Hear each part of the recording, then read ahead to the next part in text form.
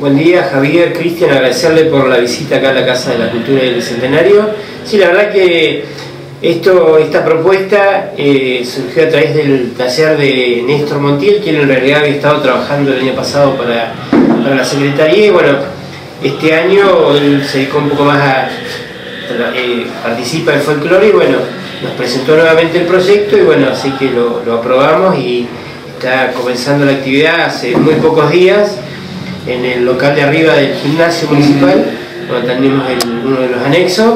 Y bueno, me trajo esta idea de poder hacer esta capacitación de salsa, bachata y alguna actividad más que hace la profe Mirna, que la verdad que la conozco hace muchos años, bueno, había perdido el contacto con ella, pero bueno, hoy charlando tiene un amplio trabajo en su actividad, no solo acá en las rutas, sino ha estado en otros lugares del país, y la verdad que me parece muy bueno, es jacobacina, así que me parece muy bueno que venga y pueda mostrar todo lo, que ha aprendido y que le va a servir mucho a todos los que participan en el taller de, Néstor, así que yo te dejo que, puedan charlar con ella, que me parece que, es muy bueno.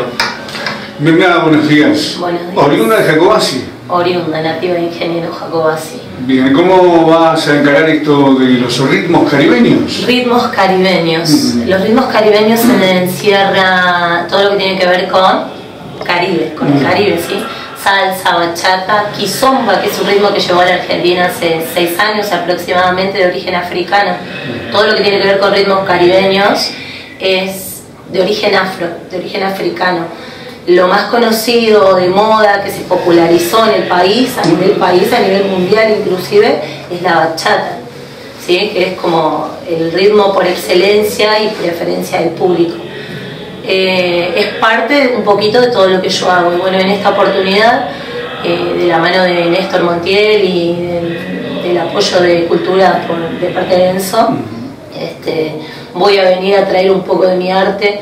Yo hace 19 años que me dedico a esto y hace 10 años que me dedico a la docencia en la danza. Es mi medio de vida, es mi profesión, así que eh, bueno, en esta oportunidad voy a traer a mi pueblo, feliz eh, es la primera vez, a, bueno, a traer un poco de mi arte. Y bueno, invito a la gente a participar del taller que se va a realizar mañana eh, como iniciativa. Vamos a, estamos hablando de poder continuar, de darle continuidad. Eh, invitarlos a todos, es un taller abierto y gratuito. mañana viernes, comenzando a las 21 horas, vamos a comenzar con salsa, eh, vamos a hacer kizomba y vamos a terminar con bachata. Abierto en general en edades. Edades, para todas las edades. De acuerdo a la concurrencia, vamos a, ver cómo, lo, manejamos la próxima vez, porque es una prueba. Si bien se han realizado eh, por otras profesoras eh, actividades acá, nunca tuvieron continuidad, entonces no tenemos el timing de lo que va a ser. vamos a ver mañana, es una prueba piloto para ver cómo vamos a continuar. Has estado participando a nivel nacional también, ¿no? Eh, no como bailarina o competencia. La competencia no es lo mío, sí tengo alumnos, tengo los campeones provinciales de salsa cabré, del mundial, de las selectivas del World Latin Dance Cup, que yo tengo la franquicia eh, de la provincia de Río Negro, hacemos las selectivas eh, este año en Viedma, el año pasado las hice en Las Grutas, que es mi lugar de residencia hoy, eh, los campeones provinciales de salsa son alumnos míos. Así que sí, sí, coach, soy coach, digamos, del estilo, no bailarina porque se me ha pasado el cuarto de hora, pero estoy, estamos grandes ya para bailarinas, pero sí soy docente de la danza. Así que en esta oportunidad, eh, docencia. Igual vamos a, vamos a analizar la posibilidad de traer un show, formar un grupo de estilo femenino y demás.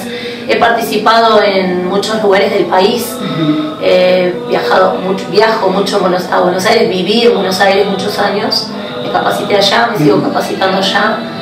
Y bueno, un poco con todo lo que tiene que ver con, con la capacitación es viajar. Soy tallerista en el sur, desde la provincia de Río Negro hasta casi Ushuaia, Comodoro, Caleta, eh, viajo a dar talleres a otras ciudades. ¿Cómo te llevó en tu faceta personal a elegir esto precisamente? Los caribeños me gustaron siempre, yo soy una apasionada de la salsa, desde chica. O sea que, bueno, acá no existía la salsa en la época. siempre me gustó la salsa y me, es como a la gente que le gusta el fútbol, a la gente que le gusta la guitarra, es como que hay algo ahí. A flor de piel que sale. Totalmente. Y cuando lo vi una vez hacer música en el casino, eh, comencé a bailar por videos y así fue que comenzó mi pasión por la salsa. Cuando me fui de acá a los 17 años, comencé a, a, dedicarme de lleno a eso. Bueno, nada, el tiempo y las circunstancias y la elección de vida fue dedicarme a la danza. Y hoy me dedico íntegramente a la danza. Bien, hace 10 años. Buenísimo, felicitaciones desde ya. Y recordemos la invitación para mañana, ¿bueno? Mañana, 21 horas, en el gimnasio municipal arriba. Eh, comenzamos con bachata, tres horas continuadas. Bien. Los esperamos a todos, abierto a todas las edades y gratuito. Enzo, bueno, unas vacaciones de invierno este, cargaditas de actividades, ¿no? Sí, sí, por suerte con, no hemos parado para nada, los talleres, la mayoría siguen funcionando y después con muchas actividades programadas, ¿sí? Este fin de semana tenemos el viaje del Ballet Municipal Renacer al competitivo de General Godoy con 37 personas a cargo de la profe Mercedes González. Y bueno, después otras actividades que vamos sumando, ¿no? Tenemos ya muchos inscritos con la capacitación de Leonora Casano. Eh, después eh, tenemos programado para este domingo eh, una proyección de películas para niños, ya que están en vacaciones, y bueno, un poco para los, pobres, los chicos que no pueden tener la posibilidad de ir a otro lado, tienen la posibilidad de disfrutar de estas proyecciones. Y bueno, así que son dos películas muy buenas, como es Aladdin y Spider-Man, ¿sí? Una funciona a las 16 y la otra a las 19. Y tenemos también programado para el fin de semana que viene, el sábado 27, eh, El Rey León, ¿sí? Así que ya te digo, con muchas actividades, no hemos parado y bueno, vemos que los ballets están ensayando a full, ya se nos viene eh, el 103 aniversario de Jacoás y también, así que estamos programando actividades en el marco de, lo que va a ser los 103 años. Sigue el concurso de fotografías, ¿no? Sí, sí, el concurso de fotografía, pueden ingresar a la página web, contactarse con Pablo Macarena y eso se va a estar definiendo la primera semana de agosto. Ahí están las bases, los premios, todo.